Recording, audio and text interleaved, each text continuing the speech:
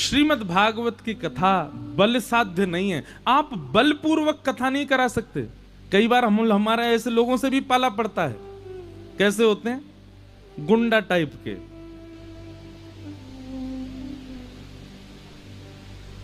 कई बार हुआ है। पहले, अब तो नहीं। पहले जब हमारी कथा इतने लोग नहीं सुनते थे तो कभी कभी होती थी। एक आध बार ऐसे क्षेत्रों में भी जाना हुआ जहाँ बल का ज़्यादा प्रयोग। और हमसे ज़्यादा अनुभव तो हमारे पूज्य गुरुदेव, पूज्य पिताजी महाराज ने किया है।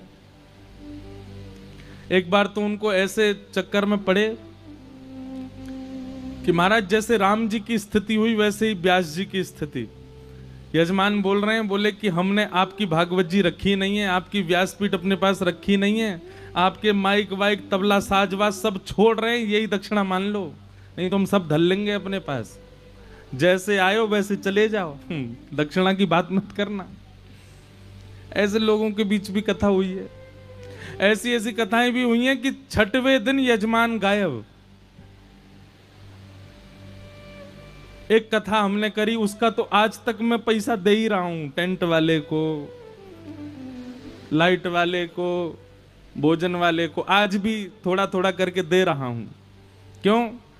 पांचवे, छठवें दिन यजमान कहाँ चले? आज तक मिले ही नहीं वो। अब सातवें दिन की कथा करने जब मैं मंच पे आया तो टेंट वाले भी खड़े थे, लाइट वाले भी खड़े थे, भोजन वाले भी खड़े थे, सब लोग खड़े। बोले, महाराज जी, हमने क्या बिगाड़ा? आप तो कहीं और कथा कर लोगे, हम अपने घर कैसे चलाएँ? मैं, भैया, देंगे हम, पर ढूंढो तो कहाँ गए? बोले, कोई पता नहीं है कहाँ है, आज तक नहीं मिले। भागवत की कथा धन साध्य नहीं है। अब देखो, उसके उसके यहाँ भी कथा हो गई। मतलब मैंने मन में क्या सोचा कि बताओ, श्री जी की कृपा थी, वो कुछ नहीं खर्च करने वाला, फिर भी उसके यहाँ कथा हो गई। सात दिन हुई कथा, क्योंकि उसका पूर्व का कोई ऐसा, कोई भाव होगा, श्री जी ने उस पर भी अनुग्रह किया। बड़े बड़े गुंडा, वो अपने बल के हट पे कथा करा लेते, उसके यहाँ भी कथा हो गई। धन साध्य नहीं है बल साध्य नहीं है साधना साध्य नहीं है। आपकी बहुत पहचान है, आपकी बहुत साधना है, बहुत यज्ञ किए तो आप क्या कथा नहीं। लिख लीजिएगा, श्रीमद् भागवत की कथा कृपा साध्य है। केवल कृपा से हो सकती है, नहीं तो नहीं हो सकती। चाहे आप लाख कोशिश कर लो। आप लाख योजनाएँ बना लो लाख कोशिश कर लो, करोड़ों खर्च कर दो। अगर श्री जी की अनुग्रह नहीं है, लाल जी की कृपा नहीं है, वे नहीं चाहते तो होगी ही नहीं। नहीं हो पाएगी। तो ये कृपा है। भगवत भाव का किसी भी रूप में उपस्थित होना, ये आपकी आपकी क्षमता नहीं है। ये श्री जी की कृपा होती है, तभी हो सकता है। आप अपनी इच्छा से नहीं चाह सकते कि आपके चित्त में भक्ति प्रकट हो, आप कोई अनुष्ठान कराओ। हाँ सुनकर के आपको प्रेरणा ज़रूर मिल जाती है देख करके आपको प्रेरणा ज़रूर मिल जाती है, पर वो कर्तव्य, कर्तव्यशील श्री जी की कृपा से ही होता है। ठाकुर जी के अनुग्रह से ही होता है। तो ये बहुत बड़ी कृपा है। मैं कथा कह पा रहा हूँ, इसमें मेरी योग्यता नहीं है। अच्छे से अच्छे बोलने वाले लोग दुनिया में हैं।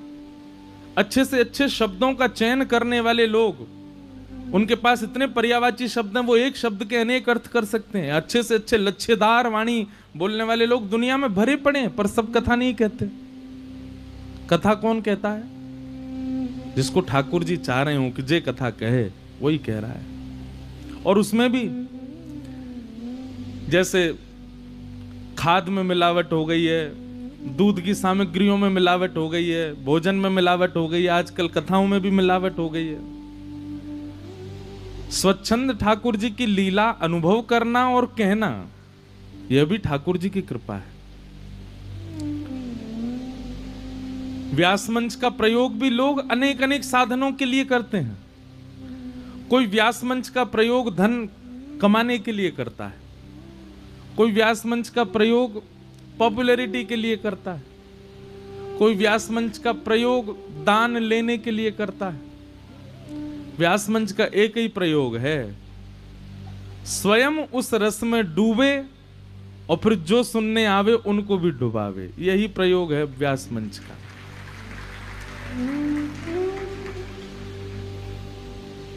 निगम कल्प तरोर गलितम फलम सुख मुखाद मृत द्रव संयुतम पिबत भागवतम रसमालयम मुहुर हो रसिका भुवि भावुका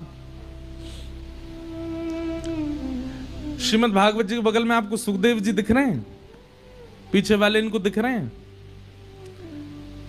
पीछे वाले ने मैं ही दिख रहा हूँ तो बहुत बड़ी बात है। दिख रहा हूँ ना? कोई बात नहीं। हम दिखें ये ज़रूरी नहीं, सुनाई देने चाहिए। सुनाई तो दे रहे हैं ना? हाँ तो बस सुनो।